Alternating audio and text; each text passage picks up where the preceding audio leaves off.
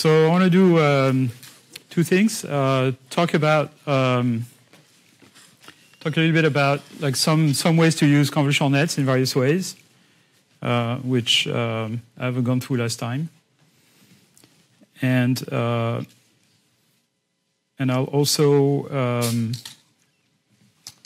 talk about different types of architectures that uh, some of which are sort of relatively recent design that people have been uh, kind of playing with for, for, for quite a while. So let's see.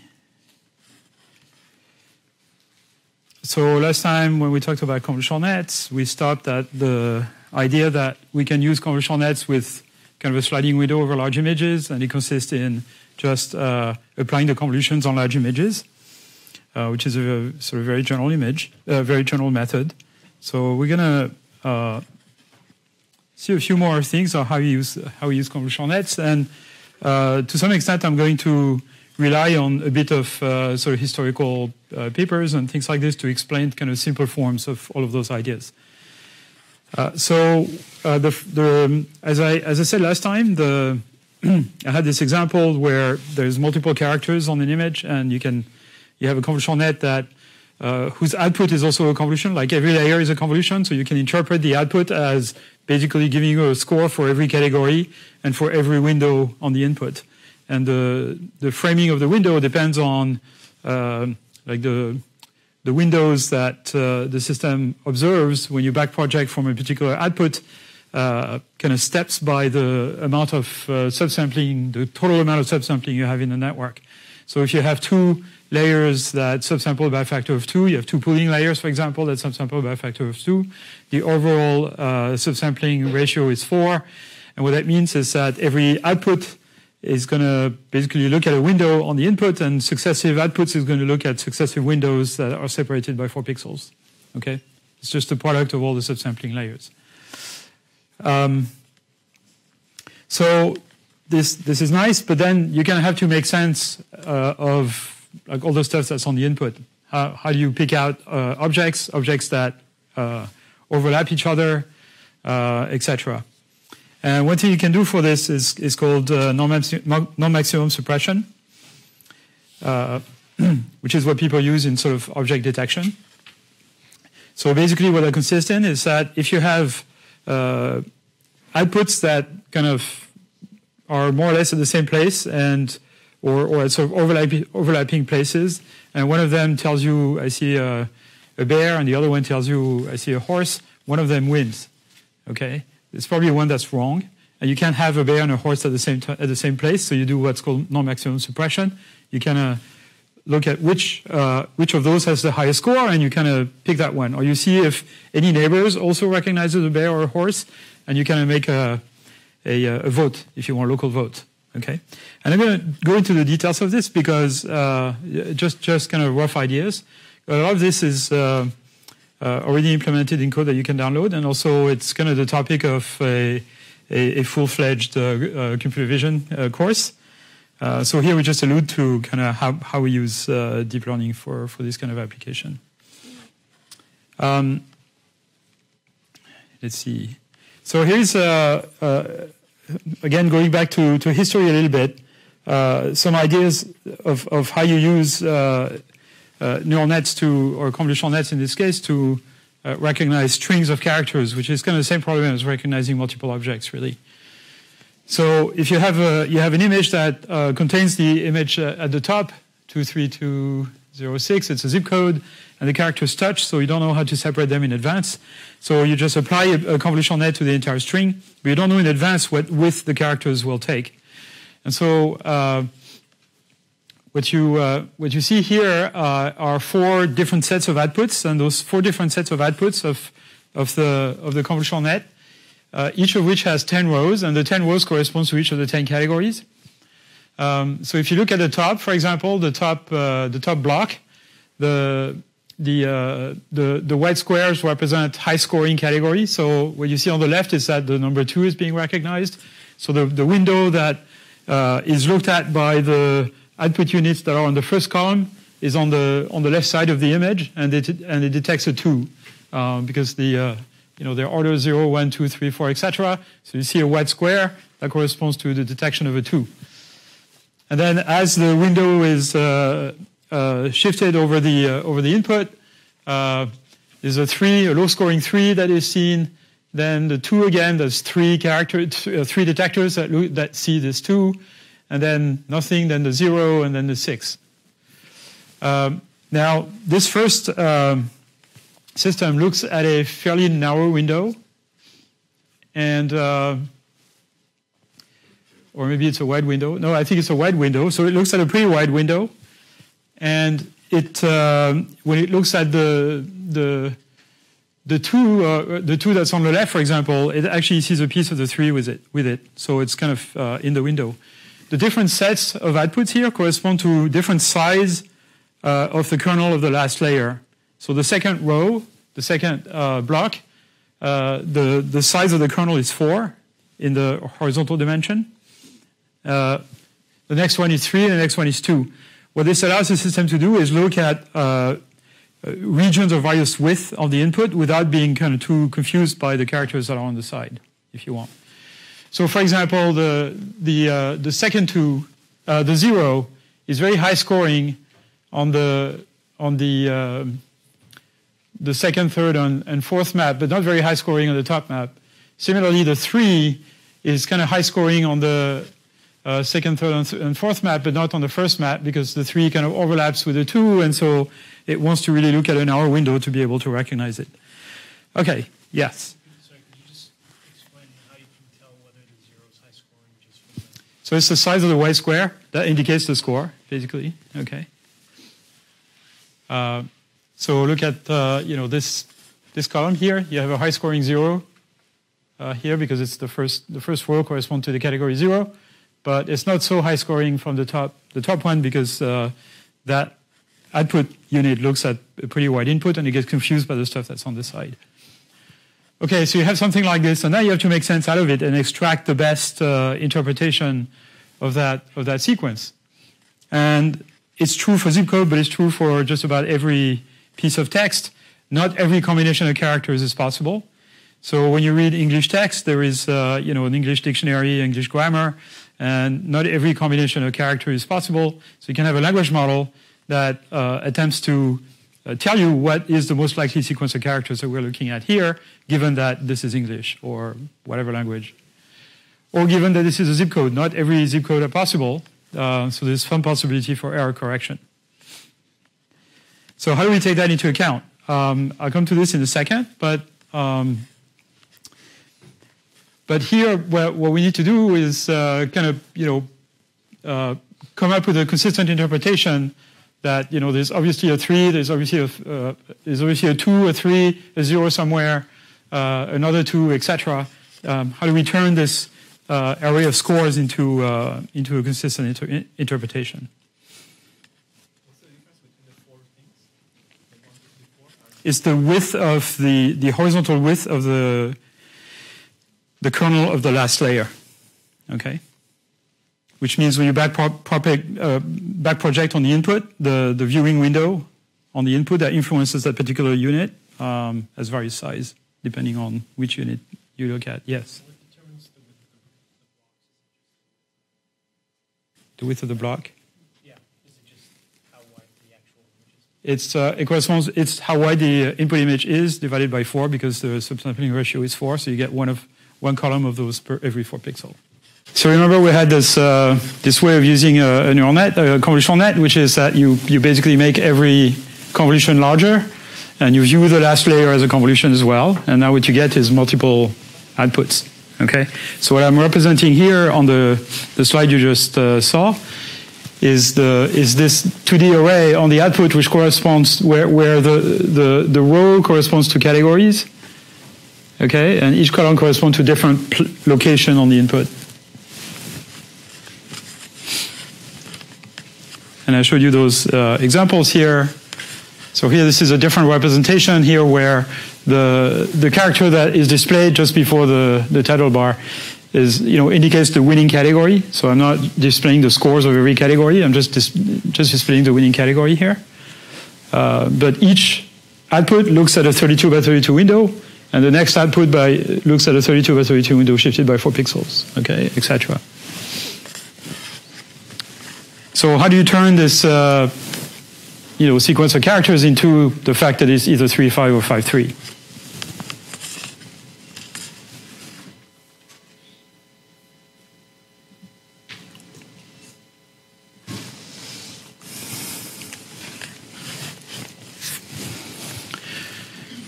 Okay, so here the reason why we have four of those is so that the is because the last layer um, there's different is different last layers if you want. There's four different last layers, each of which is trained to recognize the ten categories, uh, and those last layers have different uh, kernel width. So they essentially look at different width of windows on the input.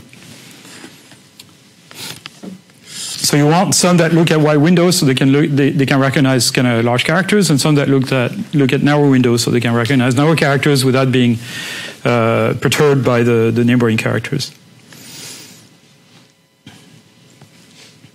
So if you know a priori that there are five uh, five characters here because it's a zip code, um, you can do you can use a trick, and there's sort of a few specific tricks that. Uh, uh, I can explain, but I'm going to explain sort of ge the general trick if you want.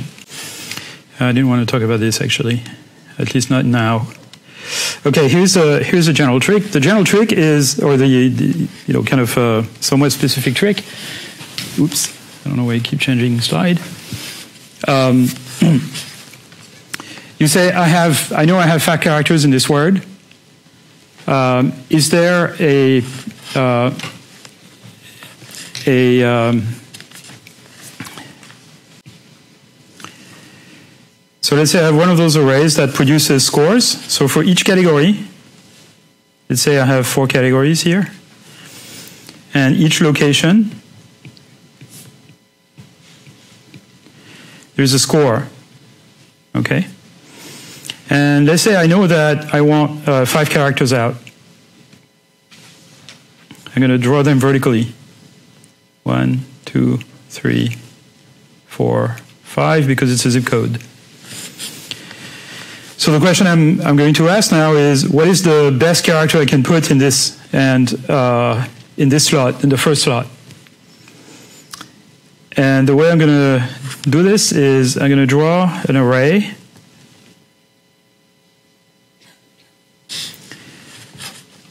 And on this array, uh, I'm going to say, what is the score here for um, at, at every intersection in the array?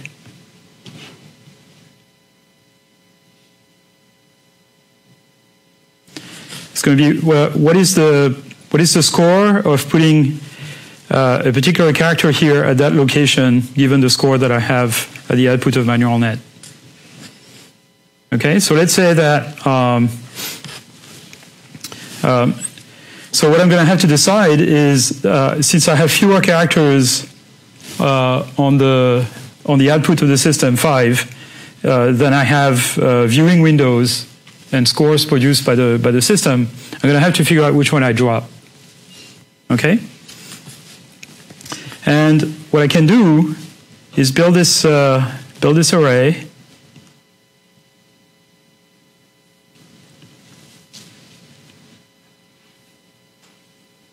And um, what I need to do is go from here to here by finding a path through this, uh, through this array.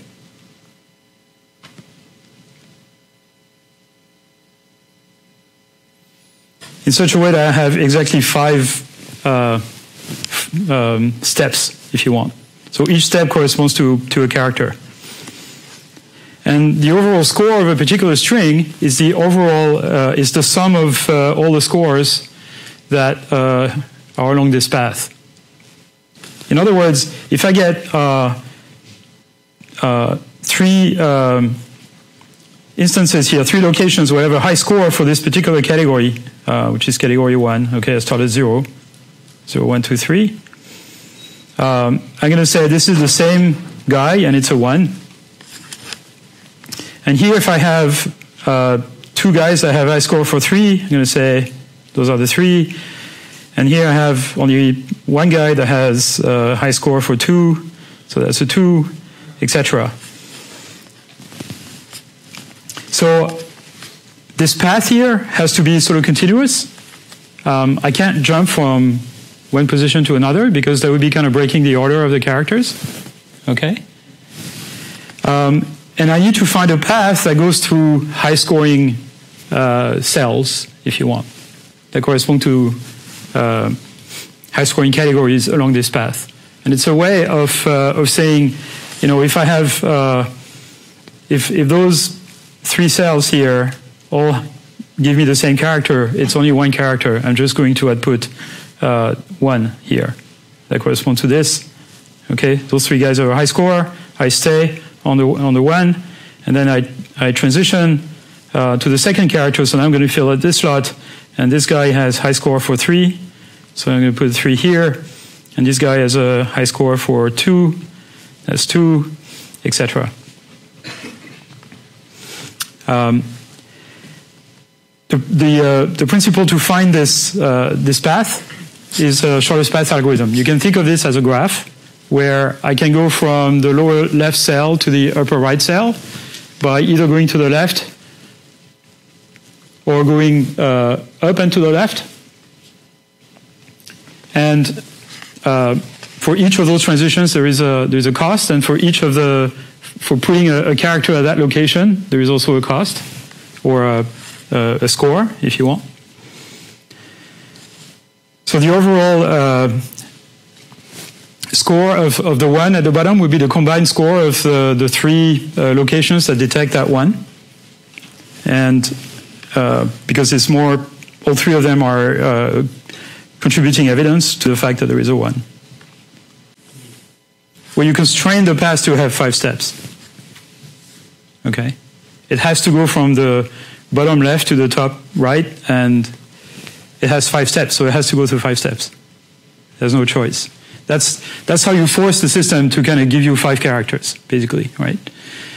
And because the path can only go from left to right and from top to bottom, uh, it has to give you the characters in the order in which they appear in the image. So it's a way of imposing the order of the character and imposing that there are fives, there are five characters in the string. Yes. You have to, okay, in the back. Yes. You, right. Yes. Well, so if you have uh, just a string of one, you have to have uh, trained the system in advance so that when it's in between two ones or two characters, whatever they are, it, it, it says nothing. It says none of the above. Uh, otherwise, you can't tell, right?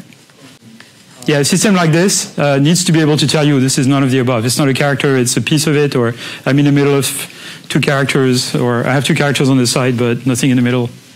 Yeah, absolutely. Is this for, is this like relevant to what you were mentioning about non-maximum suppression? Like, It's a form of non-maximum suppression. So you can think of this as kind of a smart form of non-maximum suppression, where you say like for every location you can only have one character, uh, and the order in which you produce the five characters uh, must correspond to the order in which they appear on the image. What you don't know is how to warp one into the other. Okay, so how to kind of, you know, how many detectors are going to see the number two? maybe three of them, and we're going to decide they're all the same.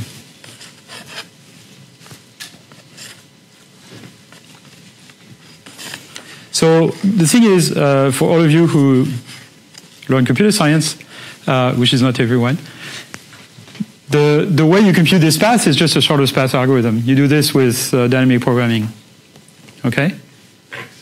So find the shortest path to go from bottom left to top right by going through, by only going to, only taking transition to the right uh, or diagonally, and by minimizing the the cost. So if you, you think each of those uh, is, is, is filled by a cost, or maximizing the score if, if you think there are scores, there are probabilities, for example. And it's just a shortest path algorithm in a graph.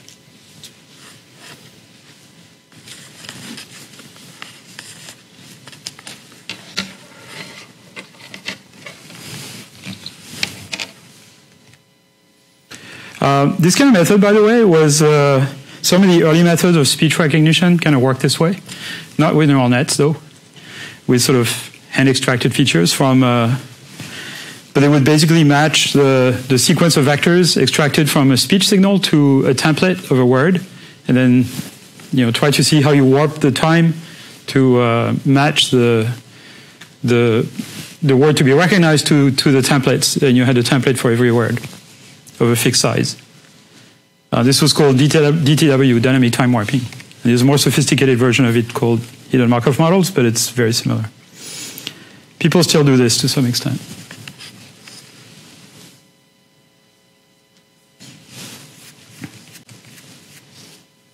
Okay, um, so detection. Um, so if you want to apply convolutional net for detection, uh, it works uh, amazingly well, and it's surprisingly simple. What you, you know, what you need to do, you basically need to, let's say you want to do face detection, which is a very easy problem. One of the first problems that computer vision started solving really well for kind of recognition. You collect a data set of uh, images with faces and images without faces, and you train a convolutional net with, with input window is something like 20 by 20 or 30 by 30 pixels to tell you whether there's a face in it or not. Okay? Now you take this uh, convolutional net, you apply it on an image, and if there is a face that happens to be roughly 30 by 30 pixels, the, the conv will, will light up at the corresponding output and not light up when there is no face. Now, there's two problems with this. The first problem is uh, there's many, many ways uh, a patch of an image can be a non-face. And during your training, you probably haven't seen all of them. You haven't seen even a representative set of them. So your system is going to have lots of false positives. Uh, that's the first problem. Second problem is uh, in a picture, not all faces are 30 by 30 pixels. So how do you handle uh, size variation? So one way to handle size variation which is very simple, but it's mostly unnecessary in uh, modern versions, but uh, or at least not completely necessary, is you do a multi-scale approach. So you take your image, you run your detector on it, it fires whenever it wants, uh, and it will detect faces that are small. Then you reduce the image by some scale. In this case, in this case here, I think a square root of two. You apply the convolutional net again on that small image, and now it's going to be able to detect faces that are uh, that were larger in the original image because now what was 30 by 30 pixels is now about 20 by 20 pixels, roughly. Okay? Um, but there may be bigger faces there, so you scale the image again by a factor of square root of 2, so now the image is half the size of the original one, and you run in the convolutional net again, and now it's going to detect faces that were 60 by 60 pixels uh, in the original image, but are now 30 by 30 because you reduce the size by, by half. Uh, you might think that this is expensive, but it's not. The uh, expense uh, is half of the expense is the finer scale.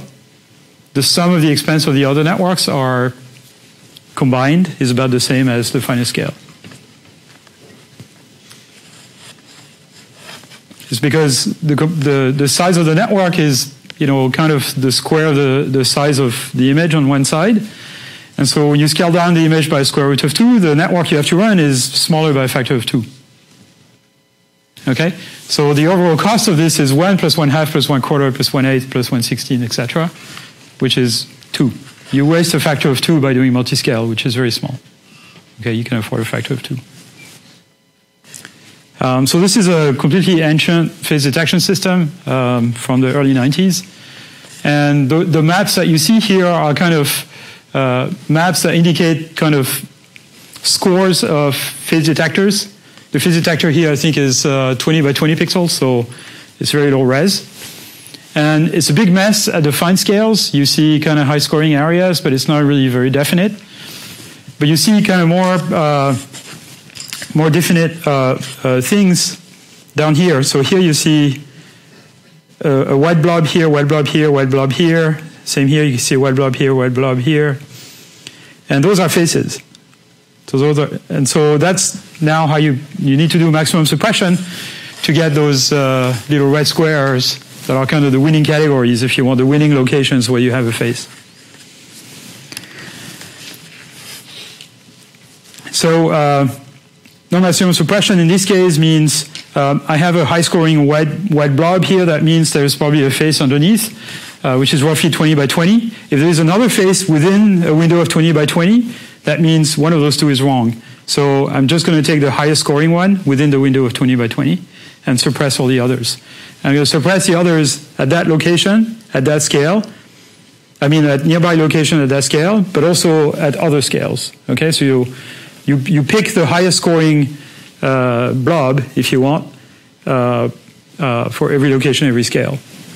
And whenever you pick one, you you suppress the other ones that could be conflicting with it, either because they are at different scale the same place, or uh, at the same scale but you know nearby.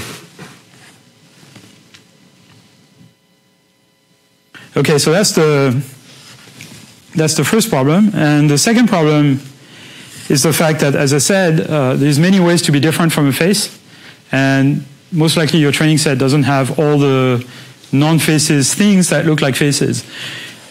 So the way uh, people deal with this is that they do what's called negative mining. So you go through a large collection of images where you know for a fact that there is no face, and you run your detector, and you keep all the uh, patches where your detector fires. Uh, you verify that there is no faces in them, and if, if there is no face, you add them to your negative set. Okay? Then you retrain your detector, and then you use your retrain detector to do the same. Go again through a large data set of images where there, you know there is no face, and whenever your detector fires, add that as a negative sample. Uh, you do this four or five times, and in the end, you have a, a very robust uh, face detector that uh, does not fall victim to negative samples. There's a lot of things that look like faces in natural images that are not faces.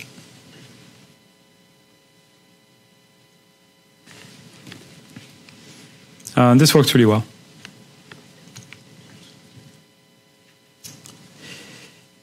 Uh, this is over 15 years old uh, work. Um, this is my grandparents' marriage, by the way, wedding. Their wedding. Um, okay. Um, so here's a, another interesting use of uh, convolutional nets, and this is for uh, semantic segmentation, what's called semantic segmentation. I alluded to this in the first, the first lecture. Um, so what is semantic segmentation? Is the problem of assigning a category to every pixel in an image. And every pixel would be labeled with the category of the object it belongs to.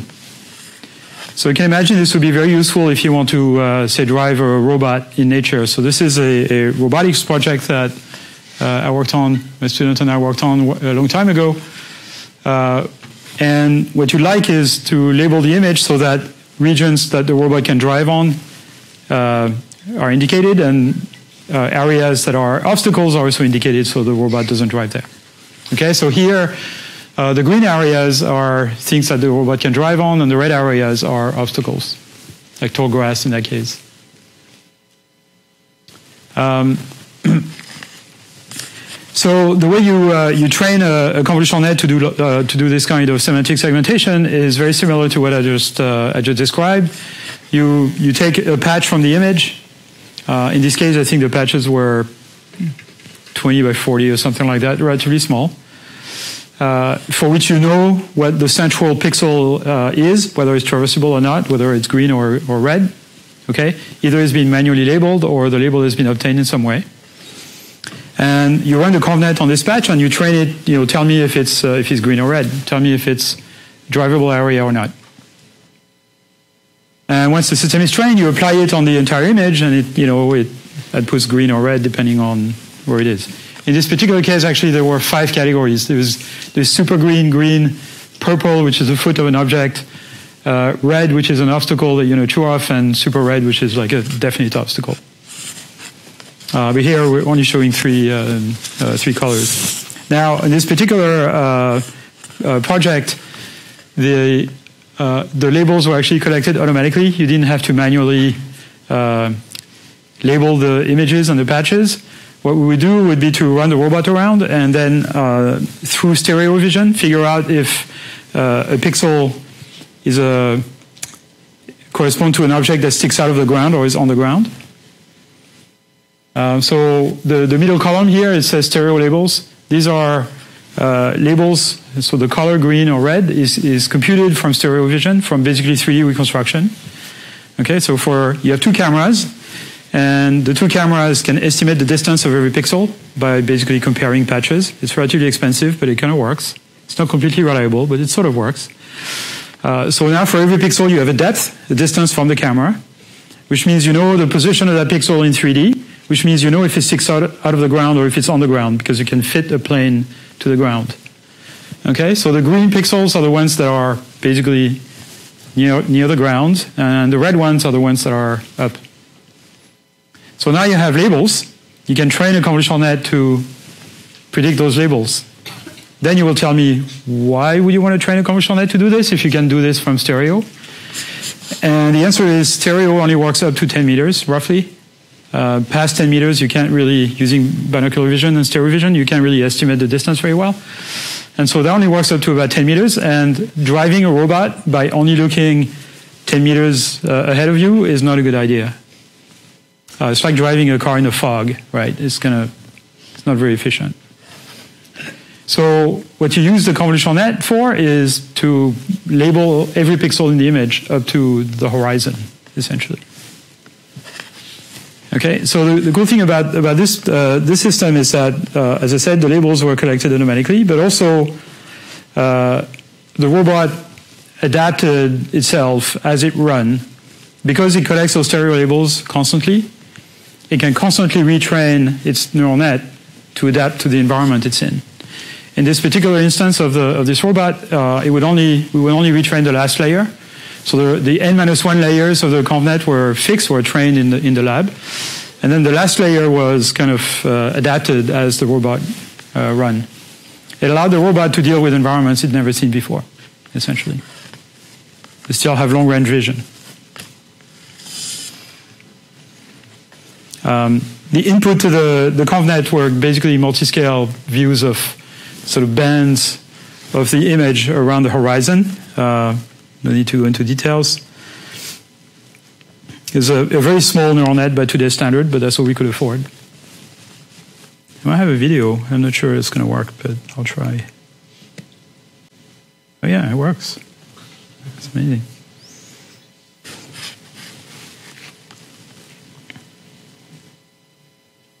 Um, so I should tell you a little bit about the caster character here, characters here. So. Um, Is there audio as well?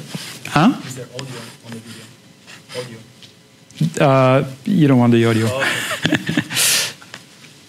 So Pierre and Raia Hadsell were Raia Hadsell were two students uh, working with me on this project, uh, two PhD students. Pierre Sermanet is at Google Brain. He works on robotics, and Raia Hadsell is director of robotics at uh, DeepMind. Marco Scoffier is at NVIDIA. Meg Grimes is at DeepMind. Yan Ben is at Mobileye, which is now Intel. Actually, Arkan is at uh, Twitter. And Urs Müller is still working with us. He's uh, actually head of a big group that works on autonomous driving at NVIDIA, and he, he's collaborating with us. Uh, actually, um, Alfredo works uh, on this project. So this is a robot, and it can drive at about uh, you know sort of fast walking speed, uh, and it's supposed to drive itself in sort of nature. Um, so it's got this mask with four eyes. There are two stereo pairs, two, two stereo camera pairs. And it has uh, three computers uh, in the belly, so it's completely autonomous. It doesn't talk to the network or anything. Um, and those, those three computers, uh, I'm on the left. That's when I had a ponytail. Um, Okay, so here the, the system is, the, the, the neural net is crippled, so the, we, di we didn't turn on the neural net, it's only using stereo vision, and now it's using the neural net. So it's, it's pretty far away from this bar barrier, but it sees it, and so it directly goes uh, to the side. It wants to go to a goal, a GPS coordinate that's behind it. Same here, it wants to go to a GPS coordinate behind it, and it, it sees right away that there is this row of people that it can go through. Uh, the guy on the right here is Marco Scoffier, is holding a transmitter, is not driving the robot, but is holding the kill switch. Um, and so, you know, that's what the, the, the convolutional net looks like. uh, re- really small by today's standard. And and it produces for every uh, every location, every patch on the input. Uh, the second last layer is a 100, 100 dimensional vector that goes into a classifier that classifies into five categories.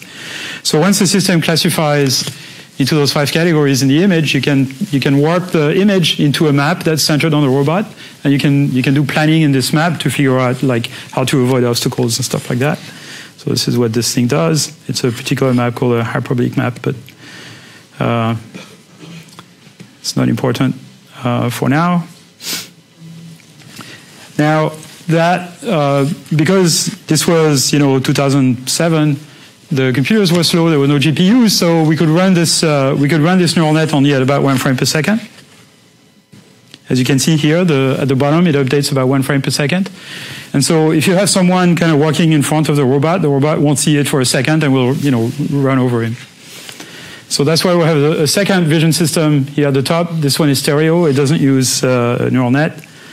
Um, odometry, I think we don't care. This is the controller, which is also learned, but we don't care.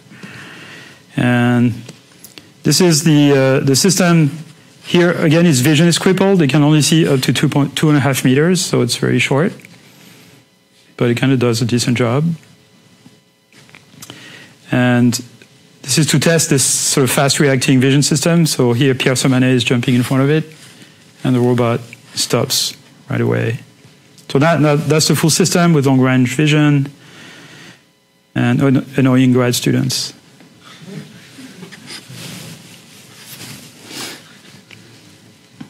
Right, so it's kind of giving up.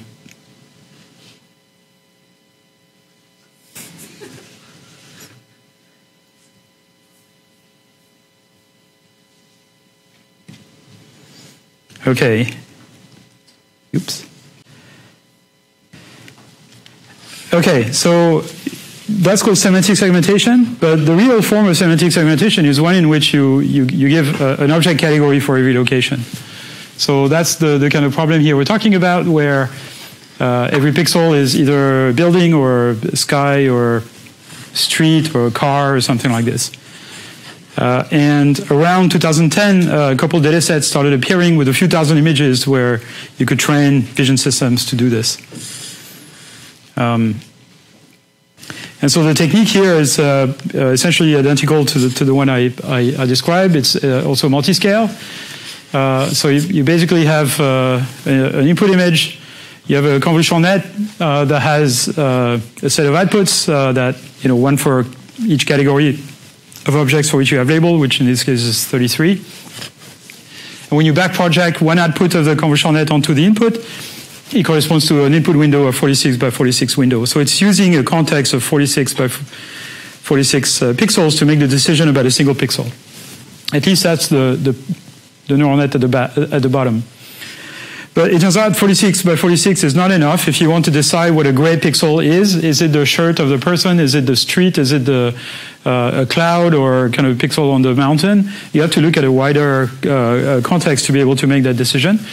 So uh, we use again this kind of multi-scale approach where the, the same image is uh, reduced by a factor of two and a factor of four, and you run those two those those two extra images to the same convolutional net, same weight, same kernel, same everything except the, the last feature map, you upscale them so that they have the same size as the original one.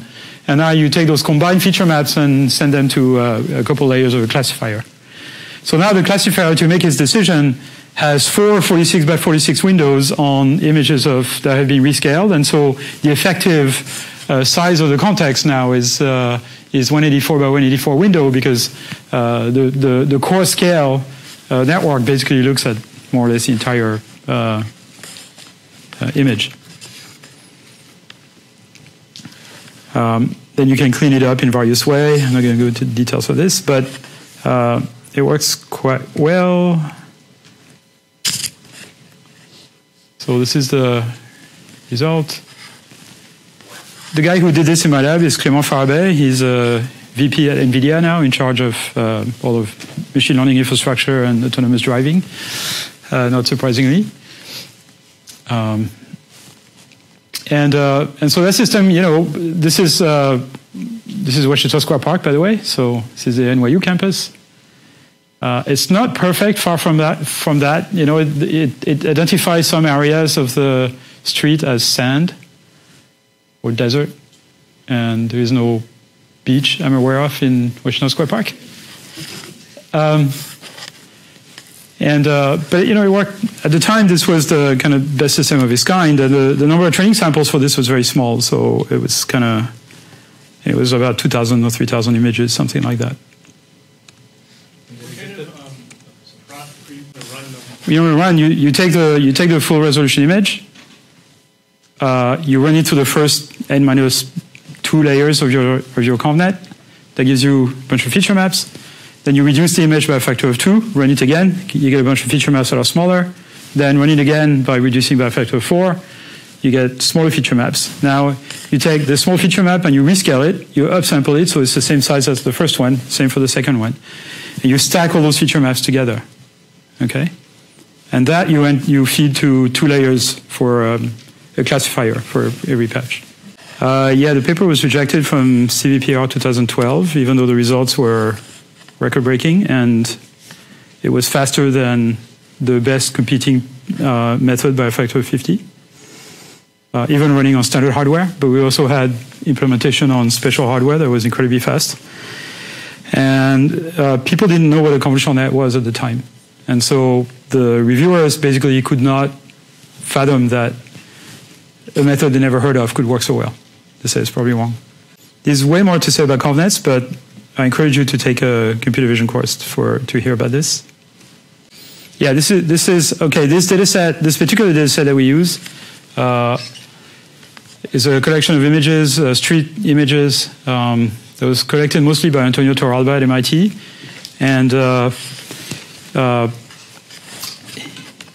he had a, a sort of uh, a tool for kind of labeling. So you could, you know, you could sort of draw the contour of every object and then label every object, and sort of it would kind of you know fill up the object.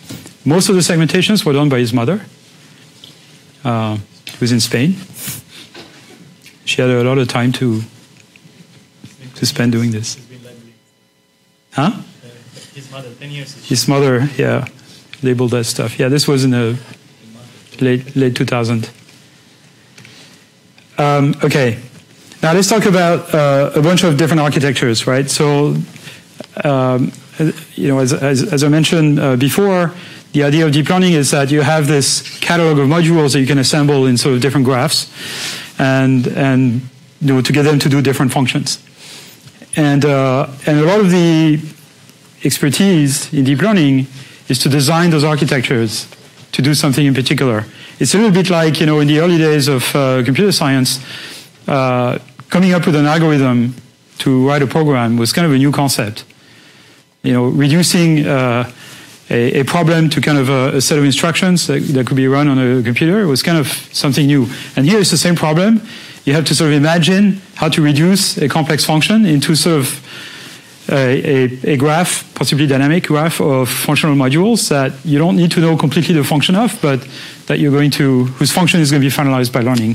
But the architecture is super important, of course, as we saw with convolutional nets. The first uh, important category is recurrent nets. So uh, we've uh, we've seen when we talked about the about backpropagation, there was a big uh, condition. The condition was that the graph of interconnection of the module uh, could not have loops. Okay, it had to be uh, a, uh, a, graph for which there is sort of at least a partial order of the module so that you can compute the, the, the, modules in such a way that when you compute the output of a module, all of its inputs are available. But recurrent net is one in which you have loops.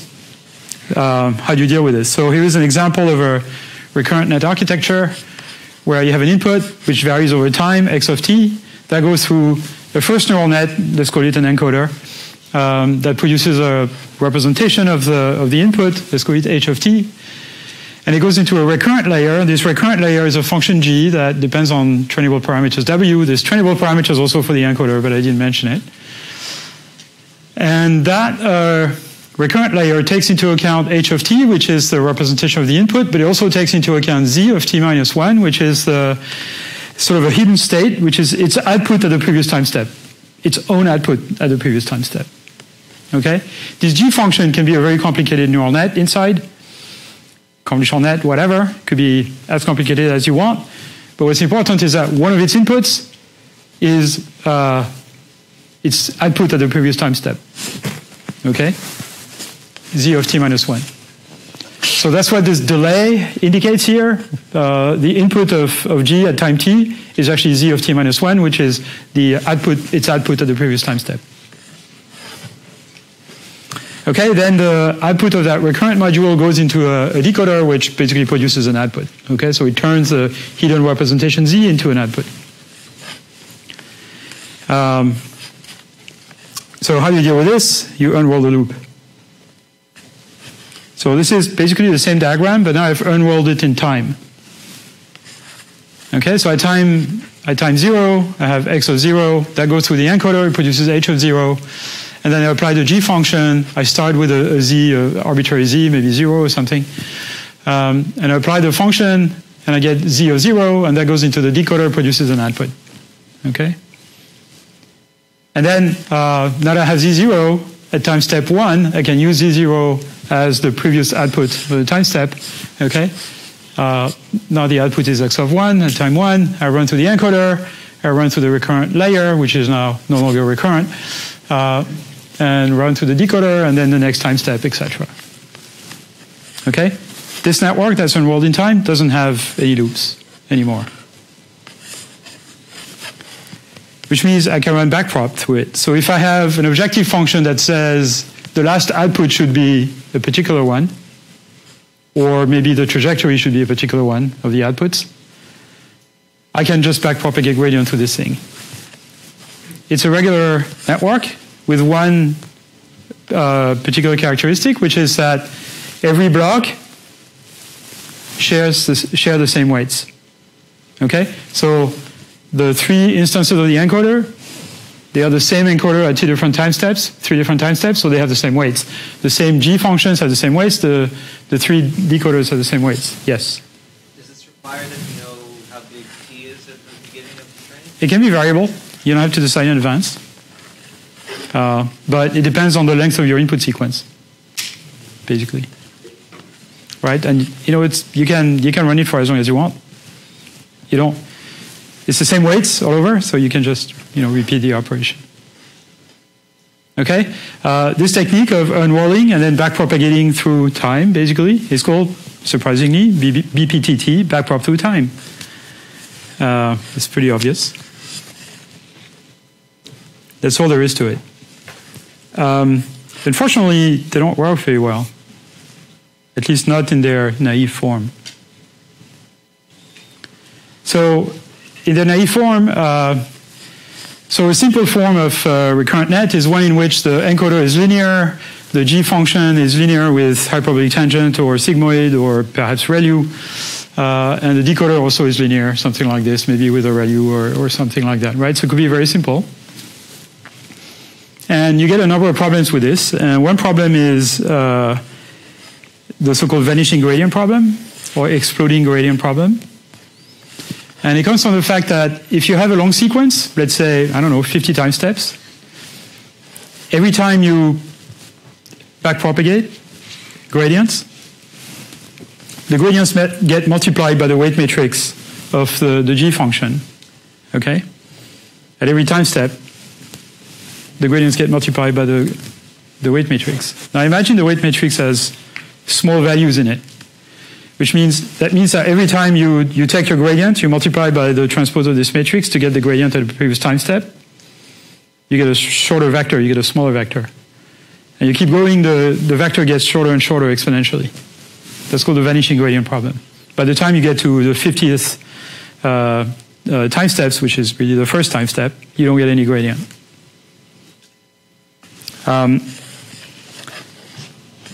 conversely, if the weight matrix is really large and the nonlinearity in your recurrent uh, layer is not saturating, uh, your gradients can explode. Uh, the, if the weight matrix is large, every time you multiply the gradient by the transpose of the matrix, the vector gets larger and it explodes, which means your weights are going to diverge when you do a gradient step, or you're going to have to use a tiny learning rate for it to work. um, so you have to use a lot of tricks to make those things work. Here's another problem. The reason why you would want to use a recurrent net, why would you want to use a recurrent net? The purported advantage of recurrent net is that they can remember, remember things from far away in the past. Okay? Uh, if, for example, you the imagine that the, the x's are, are characters that you enter one by one.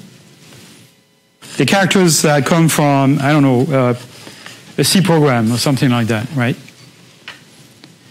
Uh, and what your system is supposed to tell you at the end, you know, it reads a few hundred characters corresponding to the source code of a function. And at the end, is um, you want to train your system so that it produces one if uh, it's a syntactically correct program, and minus one if it's not. Okay? Hypothetical problem. Recurrent nets won't do it. Okay? At least not with our tricks.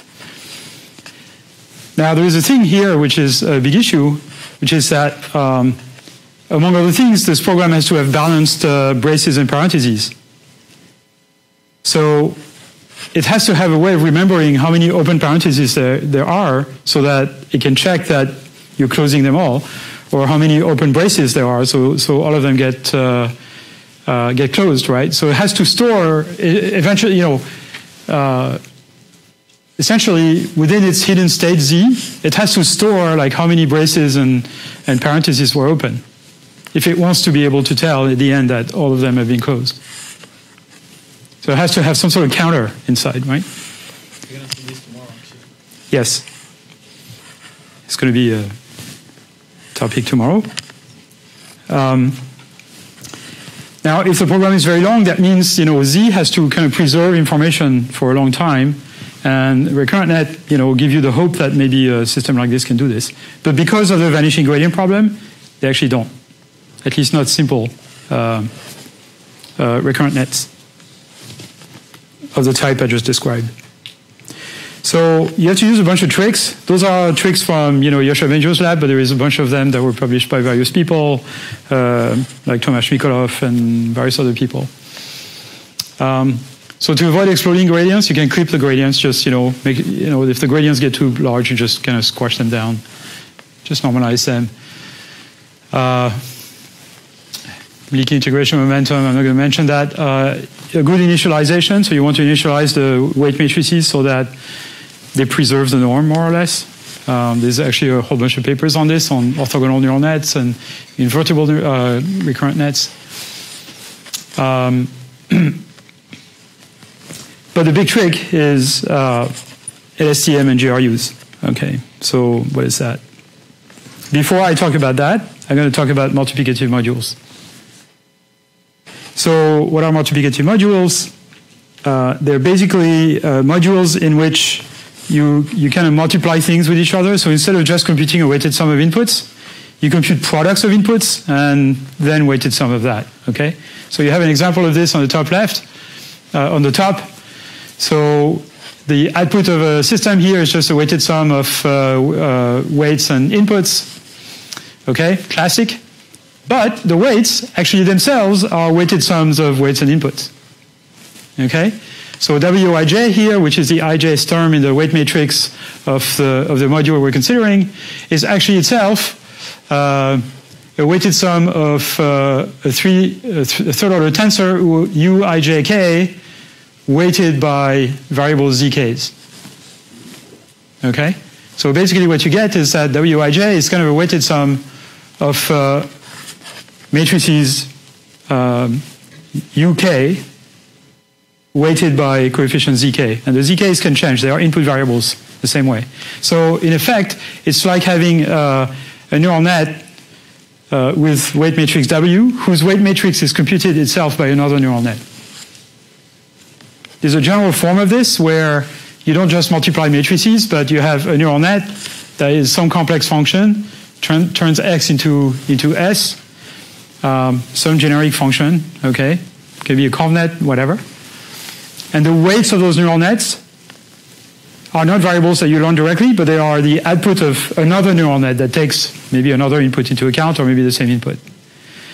Some people call those architectures hypernetworks. Okay, there are networks whose weights are computed by another network. But here's just a simple form of it, which is kind of a bilinear form or quadratic uh, form. Okay, so overall, when you kind of write it all down, Si is equal to sum over j and k of uh, u i j k z k x j. So it's a double sum. People used to call this sigma pi units. Yes. What's the motivation for building something like this? Um, we'll come to this in just a second. Basically, uh, if you want a neural net that can perform a transformation from uh, of, of a vector into another, and that transformation needs to be programmable, right? You, you can have the transformation be computed by a neural net, but the weight of that neural net would be it, themselves the output of a, another neural net that figures out what the transformation is. Uh, that's kind of the more general uh, form. More specifically, uh, it's very useful if you want to route um, uh, signals through a neural net in different ways on a data-dependent way. So um, you, uh, in fact, that's exactly what uh, is mentioned just below. So an attention module is a special case of this. it's not a quadratic layer; it's kind of a different type, but it's a particular type of of architecture that uh, basically computes uh, a convex linear combination of a bunch of vectors. So x1 and x2 here are vectors. Uh, w1 and w2 are scalars, basically. Okay. And what the system computes here is a weighted sum of x1 and x2 weighted by w1, w2. And again, w1, w2 are scalars in this case. You get the sum at the output. So imagine that those two weights, W1, W2, are between 0 and 1 and sum to 1. That's what's called a convex uh, linear combination. Uh, so you can, by, by changing W1, W2, so essentially, um, if they sum to 1, they're, they're the output of a softmax, which means W2 is equal to 1 minus W1, right? That's kind of the direct consequence. So basically, by changing uh, the relative uh, size of W1, W2, you kind of switch the output to being either X1 or X2 or some linear combination of the two, some interpolation between the two. Okay? You can have more than just X1 and X2. You can have a whole bunch of uh, X's, X vectors. Uh, and uh, that uh, system will basically choose an appropriate linear combination or focus it's called an attention mechanism because it allows the neural net to basically focus its attention on a particular input and ignoring, ignoring the others. And the choice of this is made by another variable z, which itself could be the output of some other neural net that looks at x's, for example. Okay? And this has become a hugely important type of function. It's used in a lot of different situations now. Uh, in particular, it's used in LSTM and GRU, but it's also used in uh, uh, uh, pretty much every natural language processing system nowadays that use uh, uh, either transformer architectures or other types of attention. They all use this kind of uh, this kind of trick.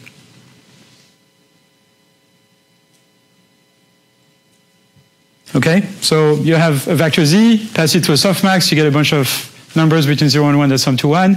Use those as coefficient to compute a weighted sum of a bunch of vectors x xi's, and you get the weighted sum uh, weighted by those coefficients. But those coefficients are data dependent because z is data dependent. All right, so uh, here's an example of how you use this. Whenever you have this symbol here, uh, this uh, circle with a dot in the middle, that's a uh, component by component multiplication of two vectors. Some people call this Hadamard product. Um,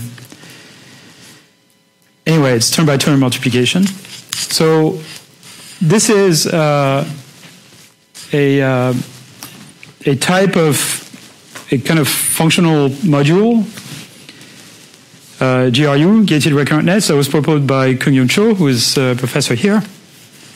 Um,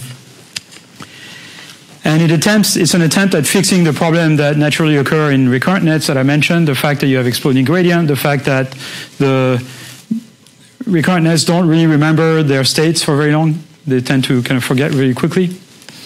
And so it's basically a memory cell. Okay? And I have to say, uh, this is the kind of second big family of sort of uh, recurrent net with memory. The first one is LSTM, but I'm going to talk about it just afterwards, just because this one is a little simpler.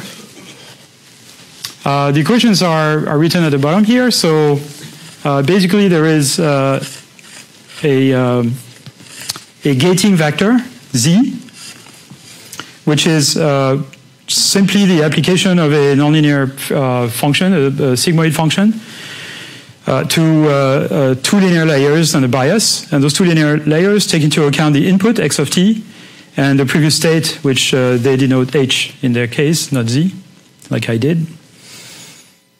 Okay, so you take x, you take h, you compute, you pass them through matrices, uh, you pass the result, you add the results, you pass them through sigmoid functions, and you get a bunch of values between 0 and 1 because the sigmoid is between 0 and 1.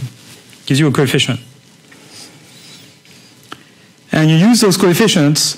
Um, you see the formula at the bottom. The z is used to basically compute a linear combination of two inputs. If z is equal to 1, uh, you basically only look at uh, ht minus 1. If z is equal to 0, then 1 minus z is equal to 1. Then you, you look at this uh, expression here, and that expression is you know, some weight matrix multiplied by the input passed through a hyperbolic tangent function. Could be a ReLU, but it's a hyperbolic tangent in this case. And then it's combined with other stuff here that we can ignore for now. Okay, so basically what, what the z value does is that it tells the system just copy, if z equal 1, it just copies its previous state and ignores the input. Okay, so it acts like a memory, essentially. It just copies its previous state on its output. And if z equal, uh, equals 0, then the current state is forgotten, essentially, and is uh, basically you, you just read the input. Okay? Multiplied by some matrix. So it changed the, changes the state of the system. Clarify what 1 minus zt actually means? Z is a vector, right? So, Yeah, so you do this component by component, essentially. okay, so Okay. 1 is essentially a vector of all ones. Vector 1, yeah, exactly. Uh, how will the derivatives look in case of element-wise multiplication? Will the derivatives will also get like element-wise multiplication in macro? Well, it's just like a number of independent multiplications, right? What is the derivative of some objective function with respect to the input of a product? It's equal to the derivative of that objective function with respect to the out- to the product multiplied by the other term. That's as simple as that. Uh, then why are GRUs able to uh, rectify for vanishing gradient problem? Because again, there would be repeated multiplication. Right? So it's because by default, essentially, unless z is, uh, you know, z is more or less by default equal to one, and so by default the, the system just copies its previous state. Uh, and if it's just you know slightly less than one, it uh, it puts a little bit of the input into the state, but doesn't significantly change the state. And what that means is that it uh, kind of preserves uh, norm and it preserves information, right? So it's basically a memory cell that you can change continuously. Is there any reason why sigmoid is used in and RT? Well, because you need something between 0 and 1. It's a coefficient, right? And so it needs to be between 0 and 1. That's why people use sigmoids.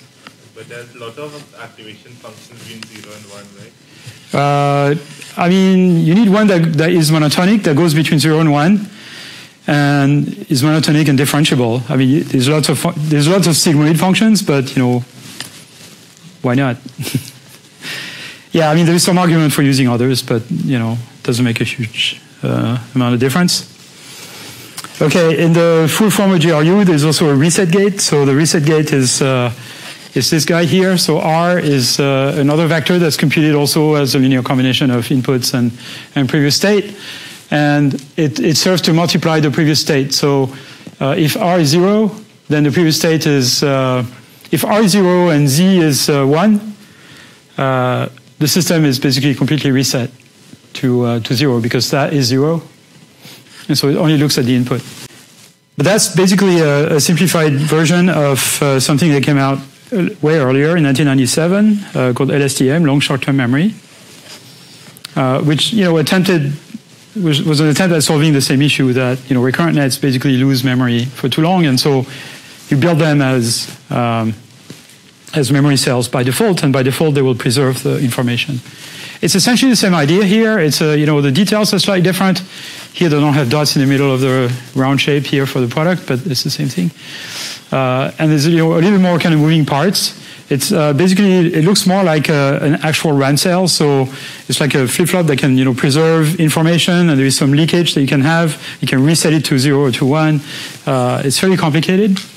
Um, thankfully, uh, people at NVIDIA, Facebook, Google, and various other places have very efficient implementations of those, so you don't need to figure out how to write the CUDA code for this or write the backprop.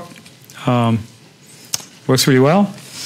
Uh, it's it's quite widely used, but it's used less and less because people use recurrent nets. People used to use recurrent nets for natural language processing, mostly, and things like speech recognition.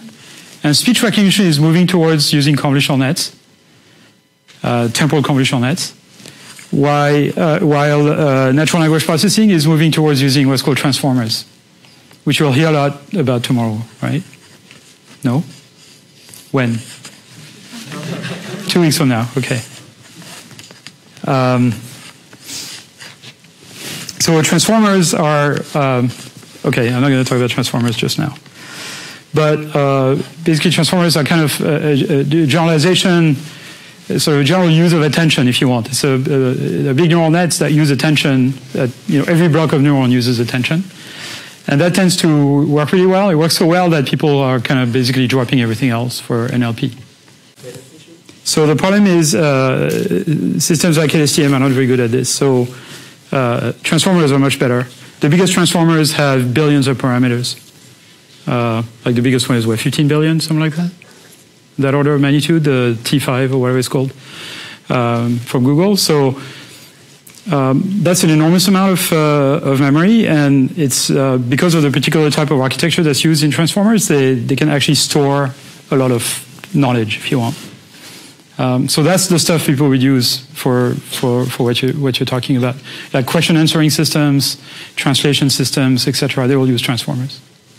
Um, uh, let me, okay.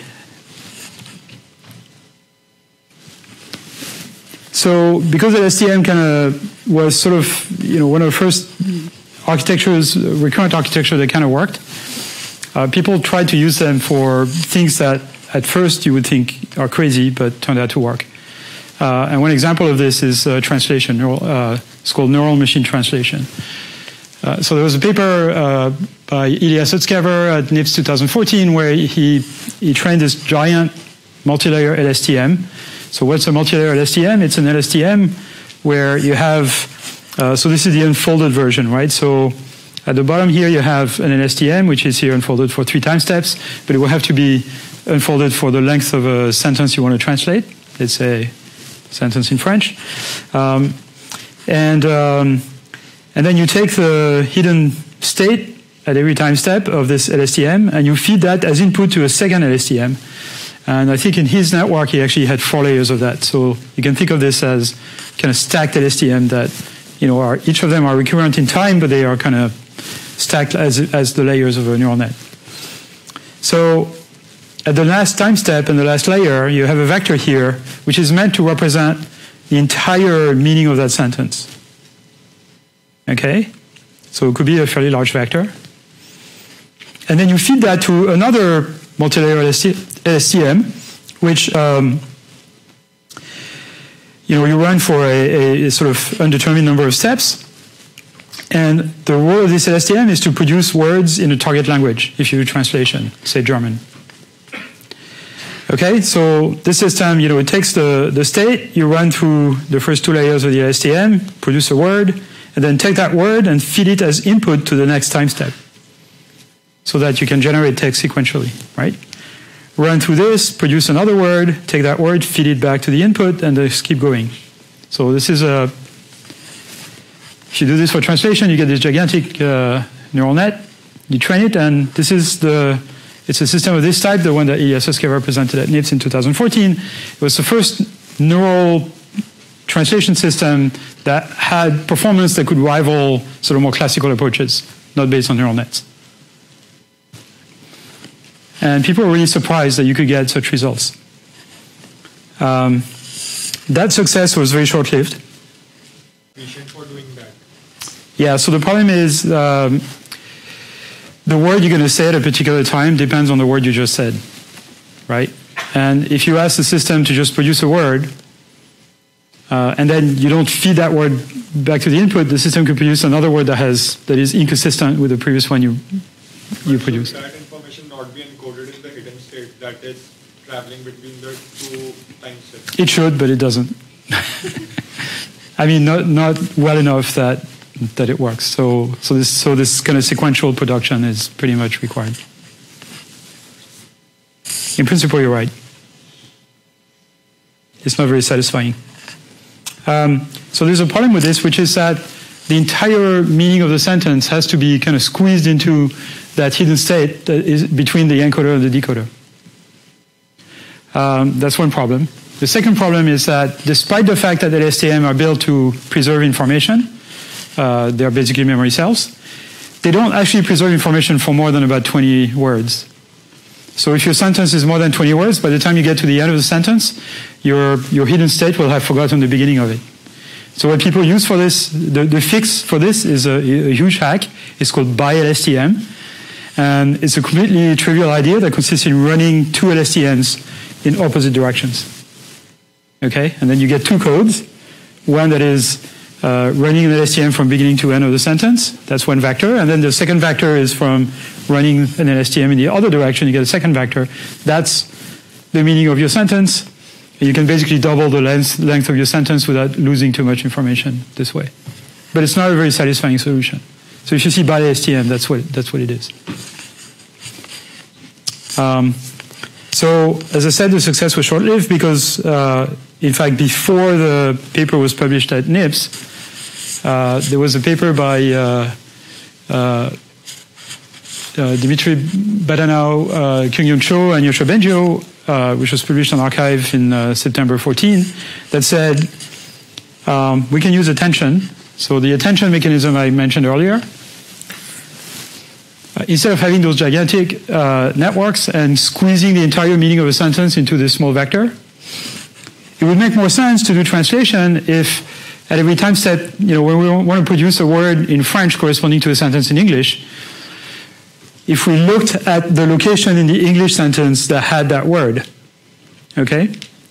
So our decoder is going to produce French words one at a time, and when it comes to produce a word, uh, that has an equivalent in the input English sentence is going to focus its attention on that word, and then the translation from French to English so that word would be simple, although you know, it, could, it may not be a single word, it could be a group of words, right? Because very often you have to turn a group of words in English into a group of words in French to kind of say the same thing.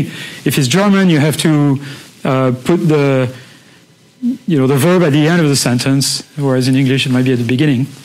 So basically, you use this, this, attention mechanism. So this attention module here is the one that I showed uh, a couple of slides earlier, which basically decides uh, which of the time steps, which of the hidden representation for which of the word in the input sentence is going to focus on uh, to kind of produce a representation that is going to produce the current word at a particular time step. So here we're at time step number three. We're going to produce the third word, uh, and we're going to have to decide which of the input word corresponds to this, and we're going to have this uh, attention mechanism. So essentially, we're going to have a, a, a small piece of neural net that's going to look at the at the inputs and decide on is going to have an output which is going to go through a softmax and is going to produce a bunch of coefficients that sum to 1 between 0 and 1, and they're going to compute a linear combination of the states at different time steps. Okay? By setting one of those coefficients to 1 and the other ones to 0, it's going to focus the attention of the, of the system on one particular word. So the magic of this is that this neural net that decides that runs through the softmax and decides on those uh, coefficients actually can be trained with backprop. It's just another set of weights in a neural net, and you don't have to build this by hand. It just figures it out. Uh, this completely revolutionized the field of neural machine translation, in the sense that within uh, a few months, a team from Stanford won a big uh, competition with this, beating all the other methods. Um, and then within three months, every big company that works on translation had basically deployed systems based on this. So this just changed everything. And then people started paying attention to attention, okay, paying more attention to attention, in a sense that. Um, and then there was a, a paper by uh, a bunch of people at Google uh, where the title was "Attention is all you need," and it was basically a paper that solved a bunch of natural language processing tasks by using a neural net where every layer and every group of neuron basically was implement, implementing attention, and that, that's what a, uh, or something called self-attention. That's what a transformer is. Also, the attention doesn't have the uh, fixed amount of input, right? You can have as many inputs as you want. Yes. You can have a variable number of outputs of, of inputs that you focus attention on. Okay, I'm going to talk now about memory networks.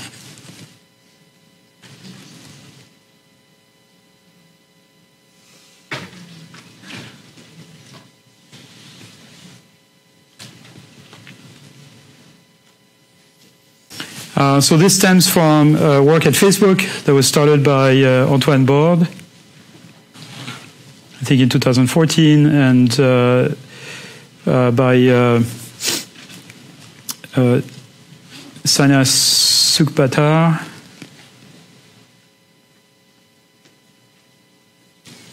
I think in 2015 or 16, uh, called End-to-End Memory Networks. Uh, Sanya Sukhbaatar is, uh, was a PhD student here, and he was an intern at, uh, at Facebook when he worked on this, uh, together with a bunch of other people at Facebook. And the idea of a memory network is that you'd like to have a short-term memory. You'd like your neural net to have a short-term memory, a working memory. Okay? Uh, you'd like it to, you know, you, you tell, okay, if I tell you a story, I tell you, uh, uh, John goes to the kitchen, uh, John picks up the milk, um, uh, Jane goes to the kitchen, uh, and then John goes to the bedroom and drops the milk there, and then goes back to the kitchen and asks you, where's the milk? Okay, so every time I, I told you a sentence, you kind of updated in your mind a, a kind of current state of the world, if you want. And so by telling you the story, now you have a representation of the state of the world, and if I ask you a question about the state of the world, you can answer it. Okay? You store this in a short-term memory. Uh, you didn't store it. Okay, so there's kind of this, there's a number of different parts in your brain, but there's two important parts. One is the cortex. The cortex is where you have long-term memory, where you, uh, you know, you, you um, where all your your thinking is is done and all that stuff. And there is a separate, uh, uh, you know, chunk of neurons called the hippocampus, which is sort of it's kind of two formations in the middle of the brain, and they kind of send uh, wires to pretty much everywhere in the cortex. And the hippocampus is thought that to, to be used as a short-term memory. So it can just, you know, remember things for a relatively short time. Uh, the prevalent uh, theory is that when you, when you sleep and you dream, there is a lot of information that is being transferred from your hippocampus to your cortex to be solidified in long-term memory. Um, because the hippocampus has limited capacity. Uh, when you get senile, like you get really old, very often your hippocampus shrinks and you don't have short-term memory anymore, so you keep repeating the same stories to the same people. Okay? It's very common. Um, or you go to a room to do something, and by the time you get to the room, you forgot what you were there for. Uh, this starts happening by the time you're 50, by the way. Um, so I don't remember what I said last last week, uh, two weeks ago. Um, okay, but anyway, so memory network.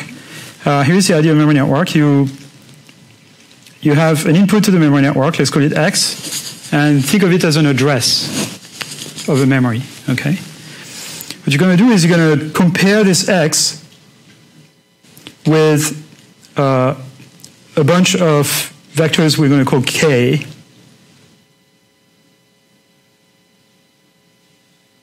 So k1, k2, k3. Okay, so you, you compare those two vectors, and the way you compare them is through a dot product.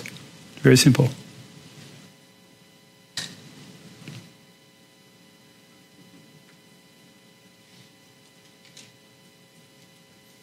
Okay, so now you have the three dot products of all the, the three k's with the x.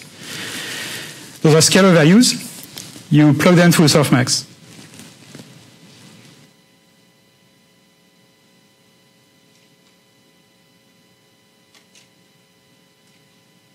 So what you get are three numbers between 0 and 1 that sum to 1. What you do with those, you have three other vectors that I'm going to call V, V1, V2, V3. And what you do is you multiply these vectors by those scalars. So this is very much like the attention mechanism that we just talked about. Okay? And you sum them up.